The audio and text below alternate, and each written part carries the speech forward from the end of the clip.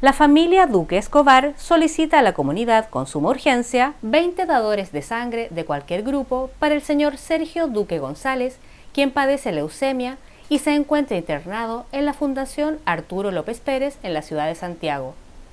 La familia colocará a disposición de los donantes un bus de traslado ida y vuelta hasta la ciudad de Santiago el sábado 16 de noviembre, el cual saldrá a las 6 de la mañana desde el frontis de la municipalidad de nuestra comuna.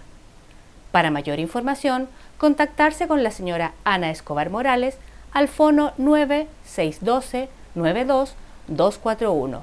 De antemano, muchas gracias.